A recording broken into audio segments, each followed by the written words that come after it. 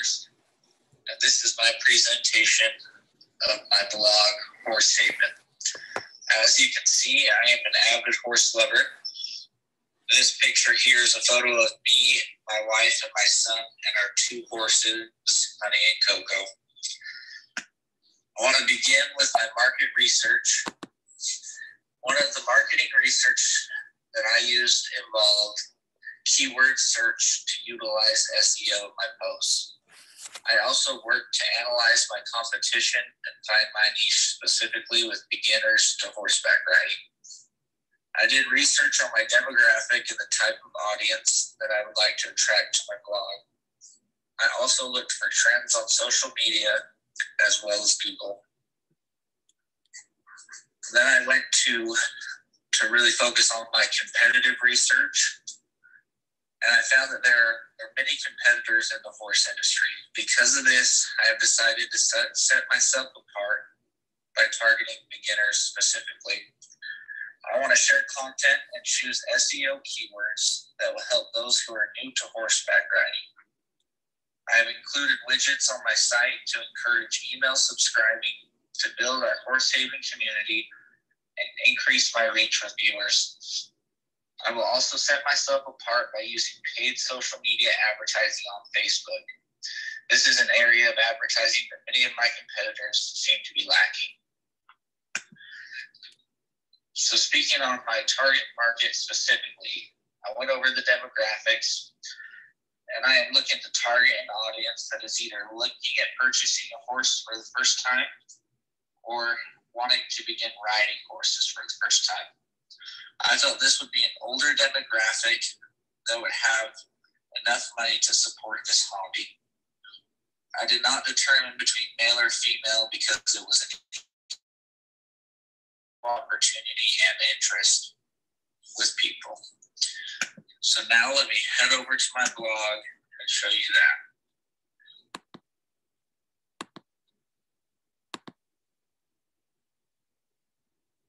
This is the home page of my blog.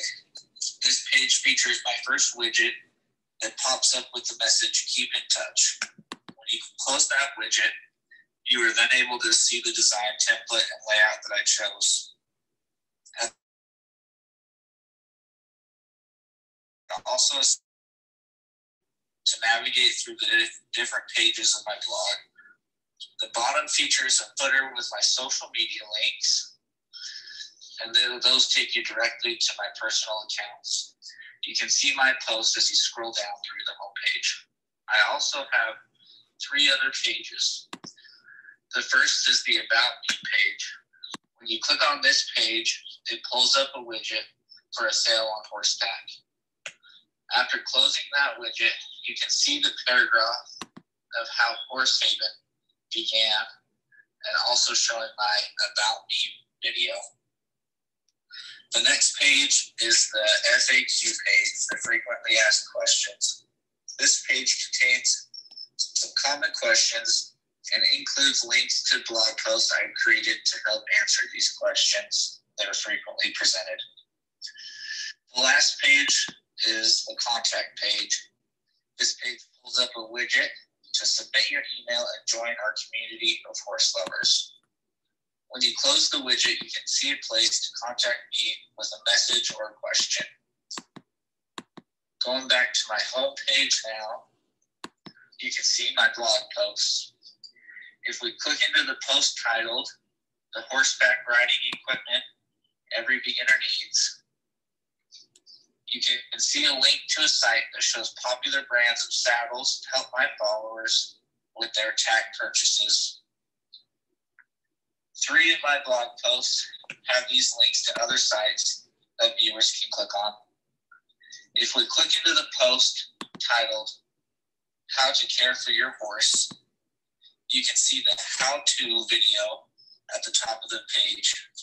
And this is a how to saddle a horse video that I presented myself. I've included a breakdown of the video for my viewers to, read, in the post.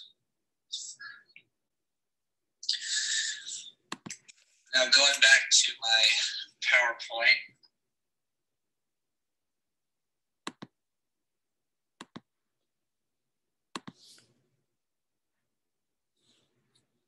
I want to show the metrics for Horsehaven.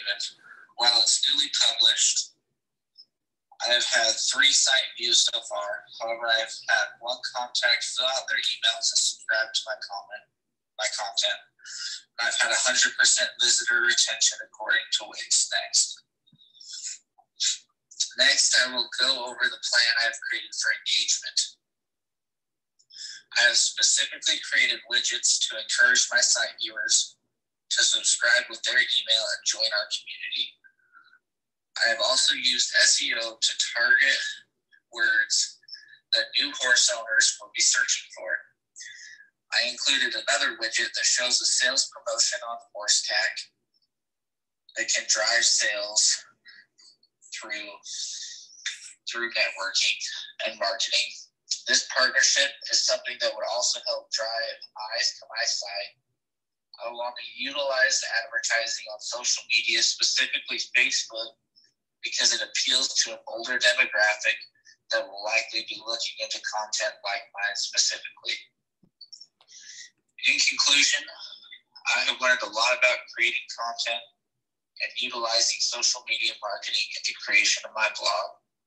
While horses are a passion of mine, I learned that it can sometimes be difficult to translate that passion into an online format.